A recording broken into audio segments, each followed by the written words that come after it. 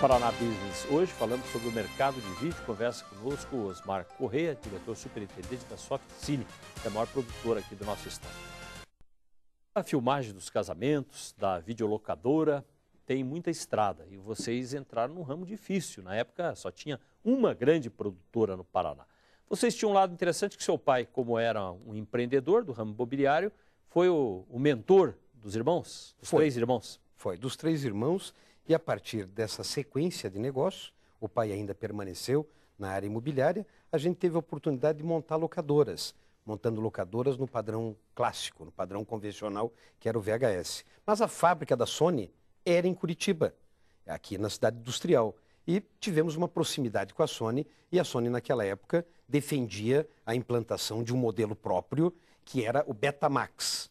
E o Betamax, nós fomos na época junto com a locadora, porque montamos uma locadora de fita Betamax, meio que representante da Sony no Paraná, para a venda dos equipamentos em Betamax. O modelo esse que não seguiu, porque não, não deu sequência, o VHS na época dominou, e eu tive a oportunidade, junto com os manos, de ir acompanhar a produção de um comercial no CIR Laboratório, uma grande produtora que teve aqui no Paraná, uma das maiores do país, e estava sendo rodado um comercial do SL30 Betamax, um dos equipamentos fabricados pela Sony, colocados no Brasil para venda.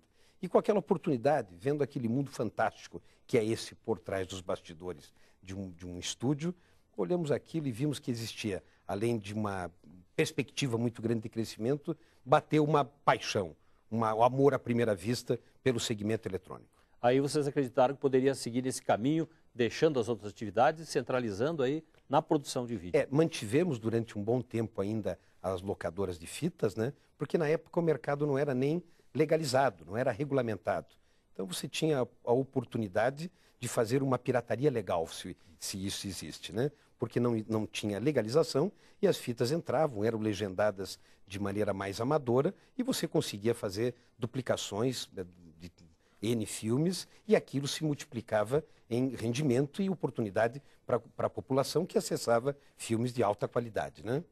Para vocês, qual foi o diferencial? Porque é um mercado difícil, era na época principalmente muito difícil, disputado, porque as pessoas estavam descobrindo esse rumo. O que é que você acha que fez a diferença para o crescimento, para chegar até aqui?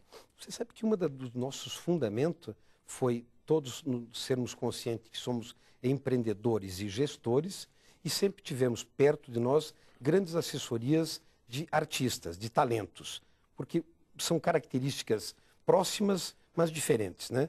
Para realmente se conseguir fazer gestão, é importante ter um, um, uma característica empreendedora e como gestor e se cercar muito bem de profissionais. Ao longo desses 26 anos, tivemos muita felicidade em conseguir grandes profissionais que conseguem fazer grandes diferenciais e um dos principais veio, foi o mundo corporativo a gente entendia que cada vez mais esse mecanismo ia ter é, grande evolução a partir da utilização das mídias eletrônicas.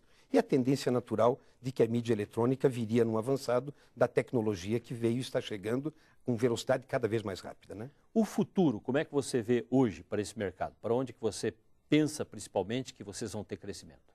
Você sabe que a gente continua muito focado e, e vendo ainda uma carência muito grande nas empresas, porque por muitas vezes você qualifica que uma comunicação corporativa para desenvolver conteúdo, para desenvolver competências, para apresentar empresas, produtos ou serviços, ou mesmo manuais, está com característica para grandes empresas. E não. Hoje a gente consegue, já com a facilidade da produção, com o conhecimento, empacotar de tal forma que a gente consegue atender a qualquer nível de empresa. Então, não necessariamente uma grande companhia com 500, mil, ou 2 mil, ou 20 mil funcionários que utiliza esse tipo de comunicação e tem seus resultados. Você pode fazer isso em qualquer nível e principalmente porque quando você está no mundo web, você está vendendo seu produto ou serviço ou treinando a sua equipe em qualquer lugar do Brasil, com uma mídia gratuita. Né? O que realmente pode atrapalhar a vocês e outras produtoras é a crença existente de que você trabalha num mundo cinematográfico muito caro, inacessível. Isso muda com a tecnologia? Bastante. E hoje as facilidades e a maneira com que a gente procura dar esta consultoria ao cliente, você tem várias maneiras de fazer um conteúdo eletrônico de maneira muito equilibrada, até mesmo na questão de investimento. E a produção de televisão? Você disse acreditar que nós teremos produção local. Uhum. Até há uma tendência internacional de que as emissoras de televisão sejam veiculadoras e não mais produtoras. Uhum. É uma coisa que pode acontecer também por aqui, que as produtoras têm esse papel de produzir material, conteúdo para as emissoras que veiculam? Sem dúvida nenhuma, já existem algumas, alguns exemplos aqui no Paraná que são, pelo menos, partilhado uh, alguma coisa da produção do dia a dia da, das emissoras com produtoras terceirizadas, e isto ocorre até nacionalmente também, e está vendo por parte da própria Ancine mecanismos de incentivo e dinheiros que vai ser incentivado para desenvolvimento de conteúdo televisivo.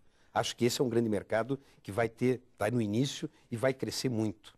Um diferencial importante, no teu caso e dos teus irmãos, é a presença do dono. Vocês são tudo. Vocês estão lá na hora da produção, vocês estão na administração e vocês estão principalmente na linha de frente, seja em eventos para fazer relacionamento com o mercado, em visitas. Parece que vocês estão mais na rua vendendo e procurando clientela do que propriamente nessa altura tendo que cuidar do negócio. Esse foi um diferencial? Também, mas eu acho que o principal atributo nisso é a paixão. Há, sem dúvida nenhuma, por minha parte e também dos acionistas da empresa, uma paixão muito grande por aquilo que a gente faz.